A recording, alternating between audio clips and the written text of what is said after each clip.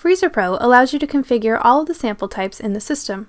This includes adding new sample types, changing the icon for existing samples, and adding or removing data fields associated with the samples.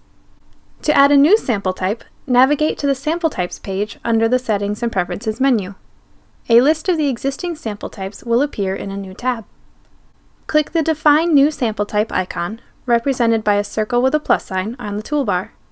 A new window will appear that allows you to select the icon used to represent the sample and also select the data fields that will capture information for each sample, such as collection dates, catalog numbers, and dates the samples are frozen.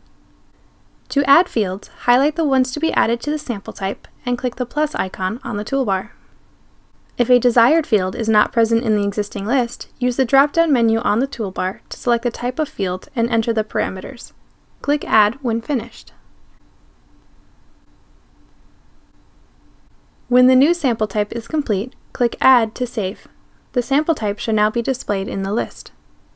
To change the icon or data fields associated with a sample type, highlight the sample type and click the pencil icon on the toolbar. An editing screen will appear in which you can change the icon and basic information and also add or remove data fields. To save your changes, click Save.